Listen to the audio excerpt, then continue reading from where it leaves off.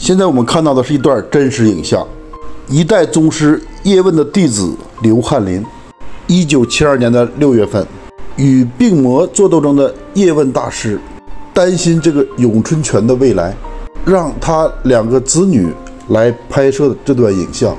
两个月后，叶大师去世，老爷子担心的事情也发生了，就是现在所谓的这些传武大师，各种踢馆被虐。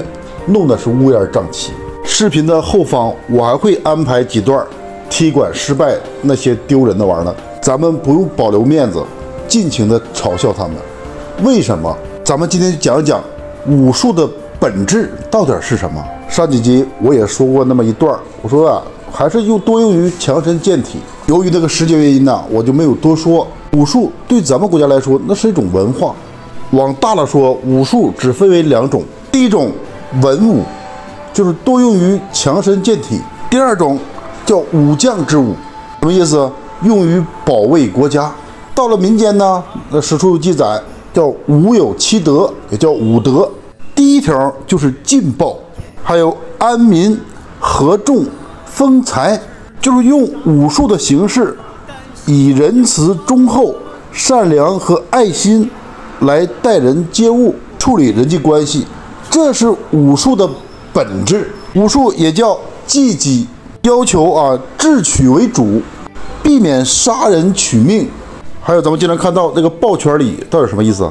就是以和平友谊为宗旨，右手握拳，左手盖拳，四指并拢，寓意是四海武林团结奋进。屈左手拇指，寓意虚心求教，永不自大，永不自大，真他妈打脸呐！现在看到也是一段资料，八卦掌，哎呀，这招挺毒啊！这个蛋蛋一抽抽，咏春拳踢馆呢，咱们整完了，这一把八卦掌上活。这个掌法刚才咱们也领略到了，为这个职业拳击手担心呐，这个蛋蛋的忧伤千万不要出现。我操，东西是好东西，让这帮玩意儿弄个稀碎，打的是该呀！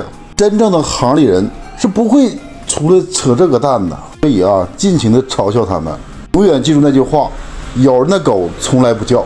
这一位，这个视频下方写着呢，我也不知道准不准啊。号称打败他的可以拿到十万元的奖金，有这发财机会，老铁们艾特我一下啊！打职业拳手我不行，打这个我跟你说我，哎呀我天，你看这死出，白瞎这钉子裤了，妈的，下边。